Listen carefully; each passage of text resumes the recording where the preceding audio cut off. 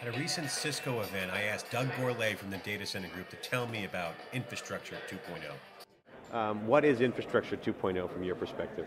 Well, there's fundamentally a set of infrastructure upgrades and updates that I think are necessary to really realize the, the core value virtualization brings and prepare for cloud computing.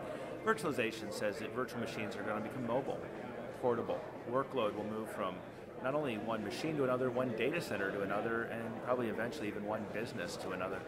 And as such, you know, the, the underlying infrastructure foundation needs to be prepared to deliver that and embrace that, while at the same time ensuring lower operational cost, and I think today, most importantly, extending the life cycle of the capital assets our customers have already invested in.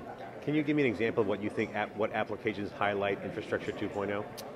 Take um, advantage of and what that enables?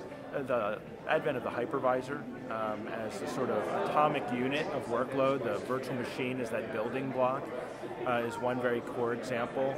Um, the new service-oriented applications that are coming out where they can dynamically find uh, each other, you know, for whether it's credit card processing yeah. or uh, the mashups and cloud computing type apps that we're seeing more and more of. Anything along those types of lines certainly what I think would benefit the most. But we also have to recognize that over 95% of the installed base is still going to continue to be, whether it's COBOL, Fortran, C, or some yeah. monolithic code base we wrote. And that's where we have to ensure that the infrastructure can support those better as they move to virtual machine environments and become increasingly portable.